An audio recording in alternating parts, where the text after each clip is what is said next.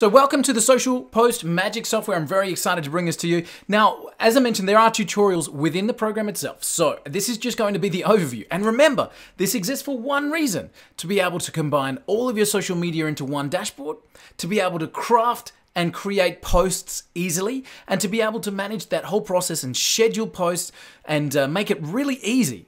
In essence, to make social media finally be able to work for you and not have you work for it. Okay, so the first thing you're going to want to do when you connect to, to uh, Social Post Magic is you're going to want to jump in and connect all your social media accounts. Now, super easy to do.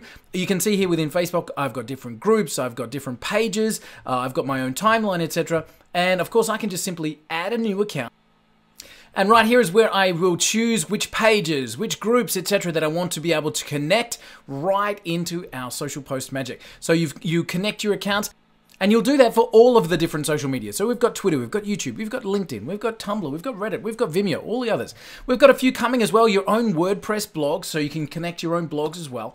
And this is then when, once you've got your accounts connected, the next thing you want may want to be able to do is group them together. So maybe, for example, you've got one group of accounts that you want to talk about online marketing and another group of accounts that you have that is uh, just your fishing group and you want to be able to connect that. So this is my fishing group and then you can go through and just select which ones are going to be part of the fishing group. So that gives you the opportunity to then have different groups. You can post different information.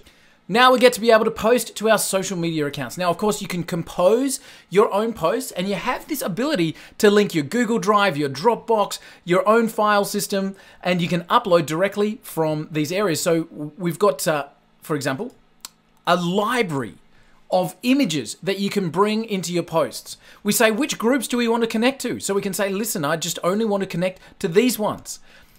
So now we're posting to these groups. We've got this image. We can bring in captions. Now, you can type your own. This is my new social post.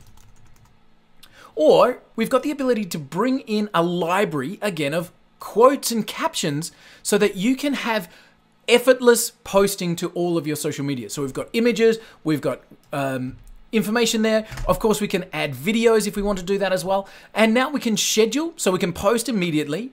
Or we can schedule this post to be a recurring post every 60 days or, or every 30 days and ending on a particular date. So we can actually repost this same image or this same quote onto our social media days and days and months and months in advance.